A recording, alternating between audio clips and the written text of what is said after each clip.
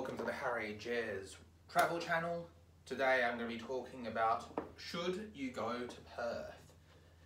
Yes, you should definitely go to Perth. It's a great Australian city and even though it is a bit of a flight for people from Sydney, Melbourne and Brisbane, um, yeah, they're a bit they're a bit unique over there in the west.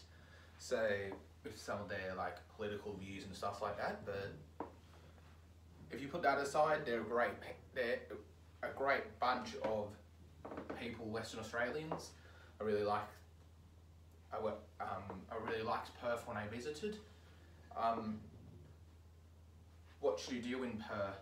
Um, go and visit a lot of the things in Perth. So like, you might want to go and visit um, I don't know, maybe some goldfields outside Perth or something like that. Try some of their wine. Um, yeah, Harry is out.